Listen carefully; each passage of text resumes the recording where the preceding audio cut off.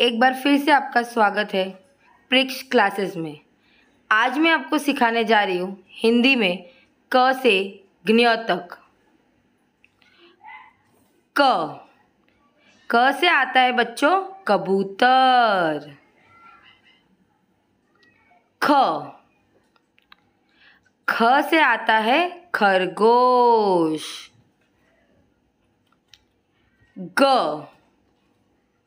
ग से आता है गमला। घ। घ से आती है घड़ी।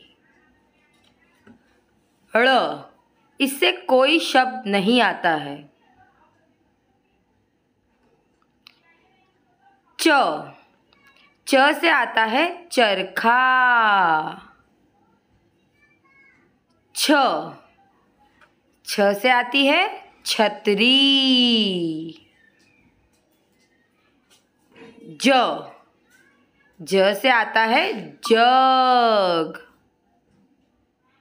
झ। झ से आता है हमारा झंडा। अंग। इससे भी कोई शब्द नहीं आता। ट। ट से आता है टमाटर। ठ। ठ से ठटेरा। ड। ड से डमरू। ढ। ढ से ढक्कन। ण। ये शब्द के आखिर में वापरा जाता है। त त से आता है तरबूज।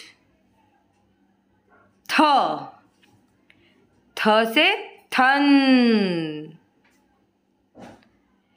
द द से दवात। ध ध से धनुष। न न से नर। प। प से आती है पतंग।